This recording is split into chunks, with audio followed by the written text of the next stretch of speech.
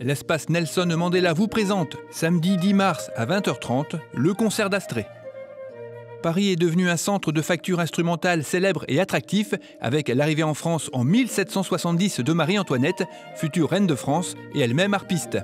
Elle incite la cour à suivre son penchant pour l'instrument qui devient indissociable de l'engouement des Français pour le genre de la romance. À côté d'instruments de prestige réservés à l'aristocratie et dont les prix atteignent des sommets, une harpe peut être plus coûteuse qu'un clavecin à deux claviers, on trouve aussi des instruments plus simples, sans doute destinés à des gens moins fortunés, dont les musiciens eux-mêmes, mais seules les harpes ornées de beaux décors ont été conservées.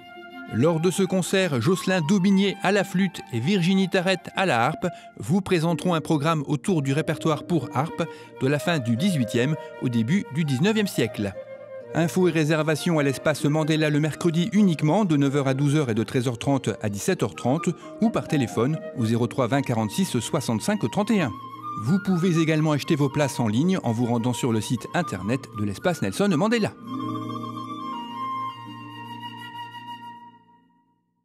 Retrouvez ce journal et d'autres informations sur lachapelle-tv.fr.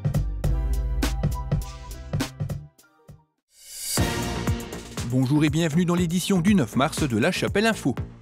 Un spectacle d'hypnose vraiment bluffant, l'espace Mandela, avec Anton Morphée.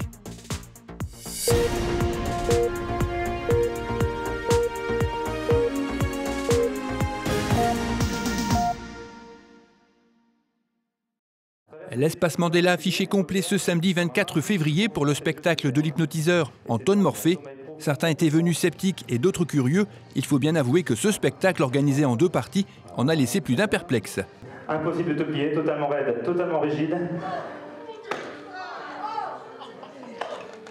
On peut l'applaudir bien fort Attention, dès que je dis lecture, vous y allez à fond. Attention, lecture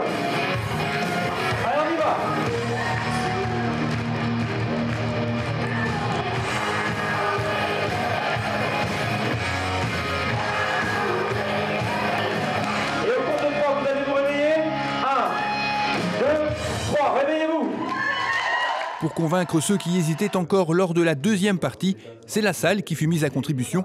Et là encore, plusieurs personnes se sont retrouvées sur la scène, obéissant à la voix d'Anton Morphée. Tellement fort que vous avez décidé de participer au championnat du monde de bodybuilding. Alors vous mettez de l'huile sur votre corps pour faire briller les muscles. Mettez de l'huile. Faites briller les muscles.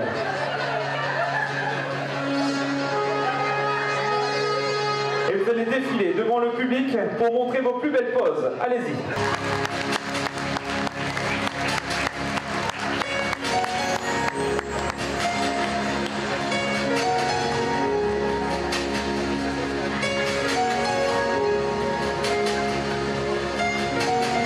Alors l'hypnose, c'est un état naturel euh, que toute personne est capable de vivre au quotidien. C'est-à-dire que quand on est absorbé dans ses idées, par exemple, si on est en train de lire un bouquin et que euh, euh, on a lu une page, on se rend compte qu'il faut recommencer parce qu'on a perdu le, fil de, ses idées. Euh, c'est déjà une forme d'état d'hypnose. C'est quelque chose qui est possible d'induire à, travers des techniques. ça s'utilise dans le milieu médical, dans le milieu paramédical pour l'hypnothérapie aussi, et enfin pour le spectacle. Alors la entre guillemets réceptivité à l'hypnose est individuelle. Euh, c'est une sensibilité qui est propre à chacun. Tout le monde est hypnotisable, mais à des degrés différents. Donc là, en spectacle, je suis obligé, pour aller vite et pour que ce soit spectaculaire, justement, de prendre les gens les plus sensibles. Mais si on prenait le temps et euh, on adaptait les techniques, on aurait un, pourcentage bien plus important de personnes euh, hypnotisées. Ce spectacle était organisé en partie pour l'amicale du personnel communal. Vous aurez probablement reconnu certains de ses membres qui n'ont pas hésité à tester les compétences d'Anton Morphée. Rassurez-vous, à la fin, tous les cobayes ont bien repris leurs esprits, ravis d'avoir participé à ce spectacle dans la joie et la bonne humeur.